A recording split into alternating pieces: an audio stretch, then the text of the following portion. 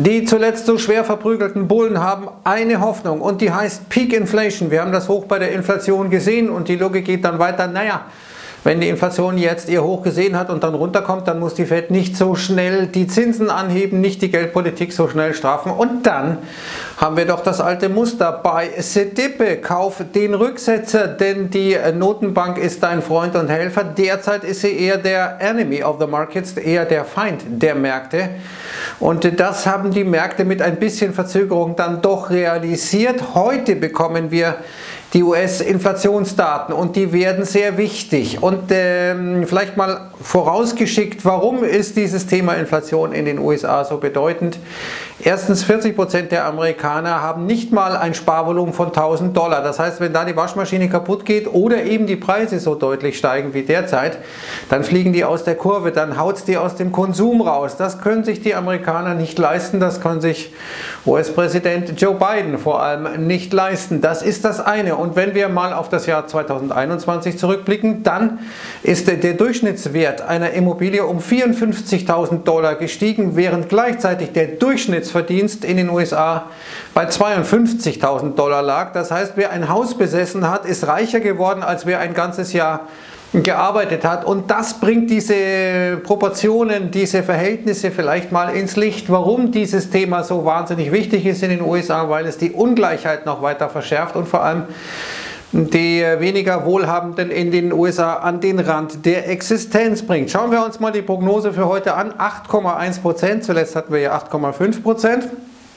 JP Morgan sagt, ja, wenn die Zahl ein bisschen tiefer wäre, wäre das natürlich äh, durchaus äh, der Grund für eine Rallye. Gestern hatte sich Fed-Mitglied Mester geäußert und er hat gesagt, also wir bräuchten schon einen deutlichen Rückgang der Inflation, bevor wir vielleicht äh, mit den Zinsanhebungen ein bisschen langsamer werden. Die Inflationsrisiken seien auf der Aufwärtsseite etc. Also äh, das ist äh, genau der Punkt, weswegen dieses Thema Inflation so wichtig ist, auch für die Märkte, weil die FED dann eben weniger die Zinsen anheben würde. Gucken wir uns mal an, wie so die Prognosen sehen. Die gehen von, äh, von 7,9 Prozent, Konsenserwartung ja 8,1, 7,9 Prozent Bank of America bis rauf Bärenberg 8,5 Prozent. Und wenn wir mal gucken, naja, was spricht denn für höhere Daten, dann sehen wir zum Beispiel National Rent, die sind deutlich gestiegen. Es sind jetzt zuletzt ein bisschen runtergekommen, aber die CPI-Daten haben einen Nachlauf von fünf Monaten. Das heißt, das wird da noch nicht so wirklich wiedergespiegelt, diese massiven Mietanstiege. Die kommen jetzt so langsam erst in die Statistik rein. Jetzt sind wir faktisch schon wieder so ein bisschen auf dem Weg nach unten, aber es wird dauern, bis das dann auch in den Statistiken wieder verarbeitet sein wird. Für eine etwas geringere Inflation spricht äh, vor allem äh, die Lage an den Gebrauchtwagenmärkten. Das ist in den USA durchaus ein wichtiger Faktor, auch mental. Noch wichtiger mental ist aber das, was an der Tankstelle bezahlt werden muss. Und wir sehen ja, dass der Ölpreis jetzt zuletzt eher so ein bisschen runtergekommen ist. Wir sehen äh, WTI so um und bei bei 100, 102 Dollar, also da ein bisschen Entspannung, aber eben nicht an der Tankstelle. Ich hatte es gestern schon gezeigt, da sind die Preise so lange wie noch nie über der Marke von 4, Gallo, äh, von 4 äh, Dollar. Gasoline etwa bei 4,37, Diesel bei 5,50 und das ist für die Amerikaner ein echtes Thema, zumal Diesel ja für diesen ganzen Transportsektor und all diese Dinge sehr relevant ist. Es verteuert dann faktisch auch Nahrungsmittel, äh, weil der Transport teurer wird. Und heute wird Biden erneut zur Inflation sprechen. Heute kommen die Daten zur Inflation. Biden wird dann 15 Uhr äh, oder wann ist es? 1.15 Uhr Chicago-Zeit. Chicago-Zeit müsste sieben Stunden hinter der deutschen sein. 1.15 Uhr wäre dann 20.15 Uhr, wenn ich das richtig sehe. Deutscher Zeit wird sich also äh, Mr. Biden äußern zur Inflation. Hier sehen wir mal die CPI oben im Chart. Die ist natürlich jetzt äh, dann in diesem Zeitraum vor einem Jahr deutlicher nach oben gegangen. Da waren wir dann auch schon bei 5%.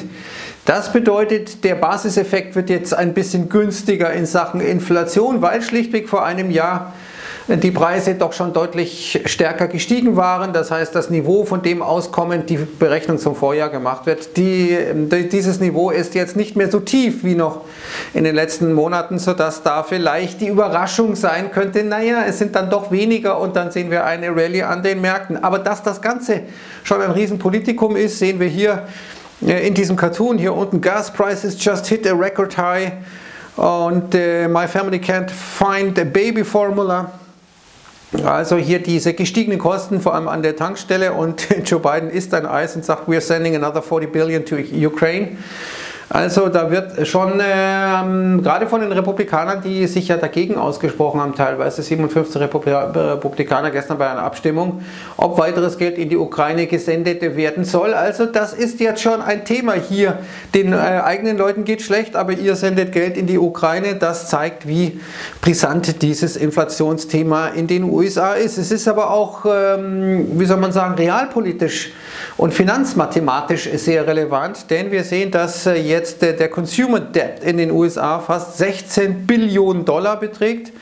Das, was wir hier oben in der Grafik rot sehen oder rötlich sehen, das ist äh, durch Haus durch Immobilienkredit und das andere sind restliche Kredite. Wir sehen also, dass vor allem Immobilienkredite hier einen heftigen Anteil haben. Und äh, wie gesagt, im letzten Jahr sind die Immobilien durchschnittlich 54.000 Dollar mehr wert geworden. Deswegen haben alle sehr hohe Preise bezahlt. Deswegen sind auch die äh, Kreditsummen, die, sie, die man sich da ausgeliehen hat, äh, deutlich gestiegen. Und das ist natürlich dann unschön, wenn die Zinsen steigen, zumal viele der Kredite in den USA eben flexibel verzinst sind. Die reagieren also auf diese Zinsänderung. Und hier sehen wir, jetzt will die Fed in dieser Situation wo wir eine fast schon geplatzte Tech-Blase auf der einen Seite haben, Dotcom-Blase 2.0, wie ich gestern im Marketplacer formuliert hatte, und auf der anderen Seite eben eine Immobilienblase, die jetzt angestochen werden kann. In dieser Situation will die Fed letztendlich den Geist, äh, den sie aus der Flasche gelassen hat, wieder in die Flasche zurückdrücken. Und das ist wahnsinnig schwierig. Das wird kaum gelingen. Hier sieht man, wie man versucht, äh, sozusagen diese Geldscheine wieder ins Krokodil oder was auch immer das ist oder in den Bullen hineinzudrücken. Genauer gesagt, kein Krokodiler Bulle. Ähm, und äh, das äh, ist natürlich schwer möglich. Wir sehen hier schon den S&P 500 mit dieser Korrektur. Die Balance Sheet, die Bilanzsumme der äh, US-Notenbank wird erst ab Anfang Juni dann wirklich sinken. Aber insgesamt ist es so, wir haben einen massiven Anstieg der Renditen gesehen. Die 10-jährige US-Staatsanleihe hier unten im Chart auf 3,20% gestiegen. Diese Anstiege sind es, die die Schuldenlast, die immer weiter gestiegen ist, immer schwerer zu tragen macht. Dementsprechend wird vieles an den Märkten davon abhängen, wie entwickeln sich die Renditen, wie also werden die Zinskosten sich entwickeln und das wird eben wesentlich abhängen von den Inflationsdaten und von dem, was die FED äh, daraufhin machen wird. Und wir sehen hier Sven Hendrick mit seinen Projektionen.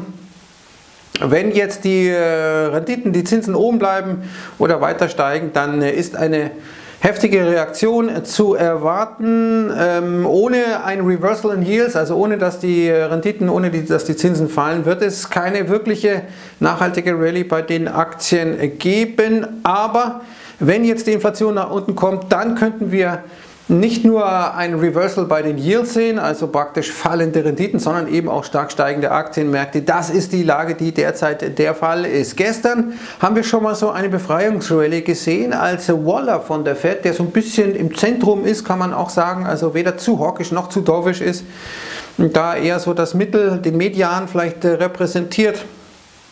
Der hat gesagt, ja, der Arbeitsmarkt ist sehr, sehr heiß. Äh, das ist äh, so, dass äh, aber die Inflation zu hoch ist und wir müssen unseren Job erledigt kriegen, diese Inflation nach unten zu kriegen. Dann hat er gesagt, und das hat die Märkte sehr erfreut, this is not a shock and arm Volker moment. Also er hat gesagt, das ist nicht wie bei Volker, der damals, äh, der Notenbankchef aus den 1970er Jahren in den USA, der damals die Inflation bekämpft hat mit rigiden Zinsanhebungen. Also es war die Versicherung, nein, wir werden es nicht so hart treiben wie Volker damals und dann sind die Märkte erstmal gestiegen. Aber was Waller auch gesagt hat, und das ist ungemein interessant, wir müssen die Zinsen anheben to cool off demand, curb inflation. Also wir müssen durch diese Zinsanhebungen die Nachfrage nach unten bringen und das ist immer genau das Thema mit diesen Financial Conditions. Bring die Nachfrage nach unten, weil auf das Angebot hast du als Notenbank keinen Einfluss. Also versuchst du hier ein Match zu machen zwischen eben der zu hohen Nachfrage und dem zu geringen Angebot, kannst du als Notenbank nur die Nachfrage beeinflussen und das genau versucht die Fed durch die Zinsanhebungen zu machen. Hier sehen wir mal, dass die Amerikaner seit 2020, also seit dem Corona-Crash, als die Fed all-in gegangen ist, massiv in Aktien und ETFs investiert haben. Letzten Donnerstag, als wir einen heftigen Sell-off gesehen haben, haben sie nochmal extrem viel Geld in die Märkte reingesteckt, insgesamt im März, im April, sich richtig dick investiert und die sitzen teilweise jetzt unter Wasser und das macht die Situation so ein bisschen schwierig. Hier haben wir Positionen, die schon wieder schief hängen, nachdem sie neu eingegangen waren. Wir haben noch Altpositionen, die schief hängen. Wir haben andere, die sind noch dick im Gewinn. Diese Melange, würde man sagen, in Österreich ist natürlich schwer aufzulösen. Insgesamt gilt, dass ähm, es derzeit äh, mehr Idioten als Geld gibt. Hier sehen wir eine Grafik oben. Äh, in den Jahren bis 95 gab es äh, mehr Geld als Idioten. Jetzt haben wir die Situation, dass wir mehr Idioten als Geld haben. Und äh, wir sehen ja zum Beispiel, die Meme-Stocks haben jetzt mehr oder weniger all das ausgepreist, was äh, eingepreist wurde seit 2020, also GameStop und Konsorten. Also diese, diese Hype-Stories, die durch Retail-Money entstanden sind, durch Privatinvestoren nochmal gepusht wurden, die sind ein bisschen vorbei. Also da ist schon ein bisschen was kaputt gegangen. Das sehen wir hier auch etwa beim Nasdaq Composite. Ähm, Tiefs zu Hochs. Äh, das ist schon extrem krass. Da sind wir auf äh, wirklichen Tiefpunkten. Wir sehen so viele Tiefs bei den Nasdaq-Aktien und äh, das würde technisch dafür sprechen, dass wir jederzeit einen Rebound sehen können. Hier sehen wir mal die neuen 52 Wochen los bei den Nasdaq-Aktien. Das ist der höchste Stand seit langer Zeit. Mehr als ein Drittel der Aktien im S&P 1500 es sind mindestens 10 Prozent seit, dem äh, letzten, seit der Zinsanhebung der FED letzten Mittwoch, also seit einer Woche. Die Aktienmärkte in den USA haben jetzt 7 Billionen Dollar verloren, allein der Tech-Sektor 2,7 Billionen. Also da ist schon ein bisschen was passiert. Man sieht es in den Indizes noch nicht so richtig. Die halten sich ja noch relativ gut. Wir sehen aber, dass die Financial Conditions sich schon deutlich gestrafft haben. Ja, als wir auf ähnlichem Niveau waren, hatte Paul damals den Rückzieher gemacht, aber damals war Inflation kein Problem. Jetzt ist es ein Problem. Wir sehen auch, dass die Rate Hike Expectations ein bisschen nach unten gegangen sind. Also ein bisschen aufatmen. Kommen wir technisch jetzt mal zu den Märkten. Wir sehen, dass wir gestern dieses Gap nach oben gemacht haben beim S&P 500 und jetzt könnten wir versuchen, vielleicht das nächste Gap zuzumachen, dass wir auch da wo die 200-Tageslinie verläuft. Dann haben wir oben weitere Gaps, aber insgesamt sind wir in einem solchen Abwärtstrendkanal, dessen untere Begrenzung wir getestet haben. Und ähm, sogenanntes Measurement, was wir hier wieder angelaufen haben, durchaus möglich, dass wir jetzt erstmal nach oben laufen und dann vielleicht später nochmal wieder neue äh, Tiefs machen. Wenn wir uns den Nasdaq mal anschauen, sehen wir hier, wie massiv die Dinge hier äh, schon nach unten gegangen sind. Auch hier untere Begrenzung des Abwärtstrendkanals und unten der Oszillator, Preisoszillator auf Ständen, wie wir sie seit äh, Jahren nicht mehr gesehen haben. Also schon ziemlich ausgebombt. Das spricht dafür, dass wir eine Gegenbewegung sehen, dass äh, hier die Dinge zu stark in eine Richtung gegangen sind, kurzfristig, aber übergeordnet, und das sehen wir hier, Growth gegen Value Stocks, wie Ottavio Costa hier richtig bemerkt, äh, viele rufen schon den strukturellen Boden aus in den Aktienmärkten, aber wir sind sicherlich kurzfristig überverkauft, aber solche, der Abbau solcher Exzesse, der dauert in der Regel relativ lange und wir sind ja jetzt noch nicht so lange dabei. Seit Januar läuft es richtig schwierig für die Aktienmärkte. Das ist noch keine lange Zeit, ähm, damit solche Exzesse abgebaut werden. Wir haben schon den Abbau einiger Exzesse gesehen. Meme Stocks, Tech-Aktien, gestern dann noch äh, Palantir, Peloton, äh, Amazon mit dem niedrigsten RSI, also krass überverkauft wie seit äh, Jahrzehnten nicht mehr. Nicht mal 2008 war Amazon so überverkauft wie derzeit. Also äh, da ist schon einiges passiert. Das gilt auch für meine zweitbeste Freundin Cathy Wood, die jetzt sich geäußert hat. Hier sehen wir unten mal den Chart ihres ARC Innovation. Bzzt, bzzt.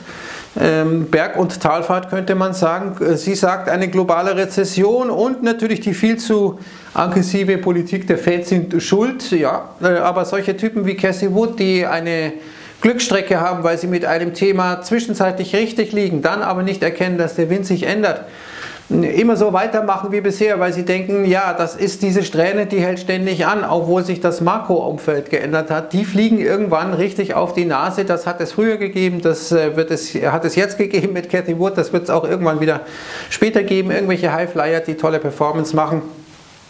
Mit einer Ideologie, die in bestimmten Zeiten funktioniert, in anderen eben nicht. Interessant übrigens, dass Ihr Freund Elon Musk jetzt gesagt hat, also den Bann von Twitter über Donald Trump, den würde er nicht aufrechterhalten. Also da vielleicht kommt da einiges auf uns zu. Interessant ist das, wenn wir jetzt mal aus, ähm, von den Aktienmärkten weggehen, aus den USA weggehen und kurz nach China kommen, sehen wir hier auch hier die Inflation höher als erwartet. Consumer Prices 2,1 statt 1,8 Prozent und die Produzentenpreise 8,0 statt 7,8 Prozent erwartet. Und wir sehen, dass da hinter den Kulissen offenkundig einiges tobt, während Li Keqiang der Ministerpräsident äh, zum Beispiel vor, der, vor den wirtschaftlichen Einbrüchen warnt und sagt, die Arbeitslosigkeit ist ein Riesenthema, etc., etc., versucht Xi Jinping diese ideologische Linie, wir machen null Covid, koste es, was es wolle, weil wir sind eh die Stars, wir haben alles unter Kontrolle, wir sind die beste Gesellschaft mit der effizientesten Regierungsform, das wollen wir dem Westen zeigen. Das äh, ist dieser Kampf, der jetzt tobt. Xi Jinping hat sich bisher durchgesetzt, wie wir wissen. Also das äh, dürfte erstmal weitergehen und die EU ist jetzt bereit zu Kompromissen, auch in Sachen Umweltschutz. Gerade wenn man zum Beispiel Umweltprojekte macht, also zum Beispiel Solarparks oder Windanlagen, da musste man vorher nachweisen, ja, ja, äh, irgendeine Reihe aus der dritten Reihe von hinten links, der ist kürzlich mal einen halben Kilometer an dieser Fläche vorbeigelaufen, der könnte gefährdet sein und dann äh, kommen Gutachter und dann dauert das alles. Jetzt will die EU solche Verfahren beschleunigen, eben auch um von äh, fossilen Energieträgern weniger abhängig zu sein. Gestern hat Baerbock gesagt, wir werden uns äh, komplett von russischer Energie abwenden, für immer.